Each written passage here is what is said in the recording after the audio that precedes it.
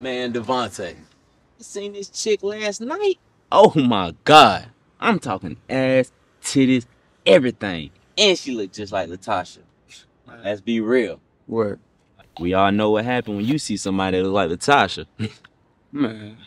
Yeah, Devontae. Mr. Loverman. Big D. Tell him.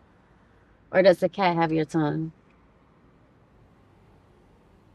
Go ahead, D. You know you my hero. I think I'm gonna plead the fifth.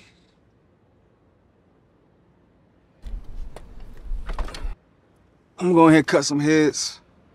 I'll see y'all inside. Okay. You done lost his mind with that old age of his, huh? Probably so.